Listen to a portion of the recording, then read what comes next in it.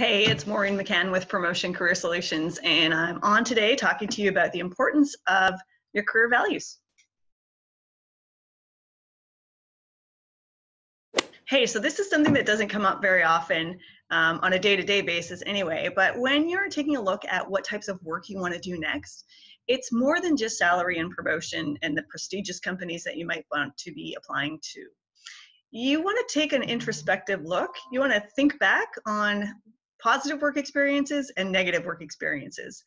When you think about the negative experiences, jot those down as well, because what we're going to do is we're going to flip them. So if you found that it was a very negative experience to have too much autonomy, then when you work at your next job, you're going to want someone who is a really hands on type leader and can really help you navigate the next step in your career.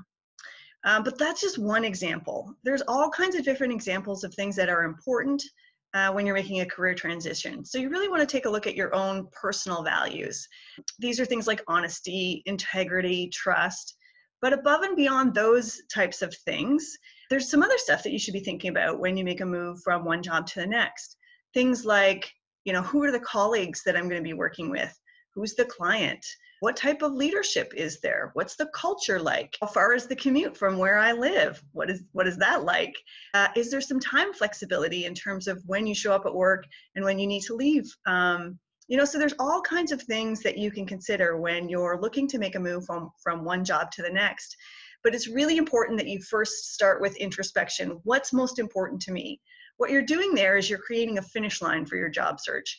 I know I will have been successful if these are the things that are included in my next role. Um, anyway, I hope that's been helpful tips and recommendations for you. I see it all the time in my practice, so I thought I'd just take a moment and share it with you folks here. Um, if you have any questions about that, uh, please let me know in the comment section below, and I'll look forward to seeing you again online soon.